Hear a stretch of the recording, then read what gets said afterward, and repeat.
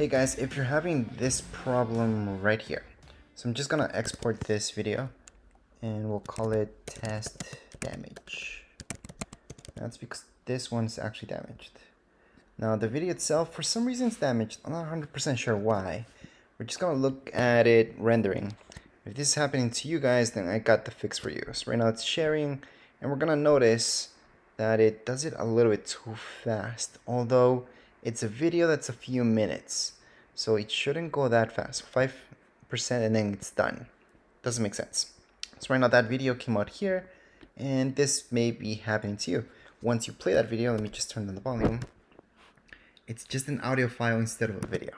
So to get around that problem or any type of problem with your file, because that's a problem with the actual original video and nothing else, we're just gonna delete that one.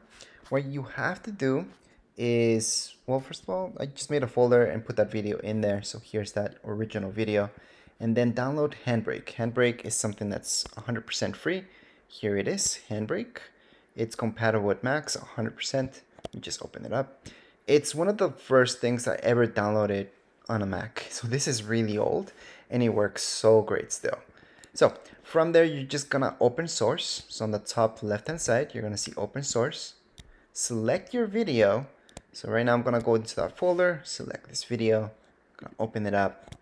Now that I opened it up, just press start. Now it's gonna convert it into an MP4. Although it might, your video might be an MP4 already, do this. So just make sure it's in the folder and then once you save this, this will save to your desktop unless you guys have other settings. Anyways, from there you would press start, then it's gonna save the file. So let me just close this up and it's gonna save the file here. So it's the same one. So here it is, an MP4. The original was in this folder, let me just show you.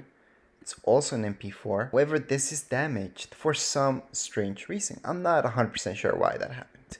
But right here I have this one and it's all fixed now because I just kind of saved it twice. So I can drag this on top of this one to replace. I can go ahead finally. And when I save this, I'm call it test one, I'm to see that it does go beyond the 5% and it's to save it correctly.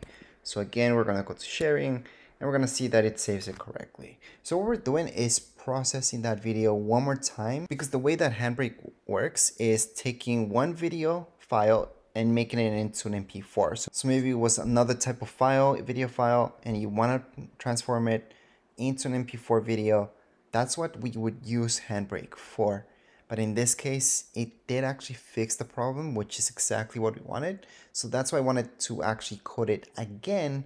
So that way, as you can see, it's actually doing it. So it's right now it's 18%. It went way beyond the 5% that would get stuck and then we'll be done. So right now the video is finally gonna render out properly and that's how I fix my errors all the time whenever I get something like that happening right here in Final Cut Pro. Anyways, if you guys have any comments, questions, you guys can write down here in comments area. Don't forget to subscribe and rate. Thank you.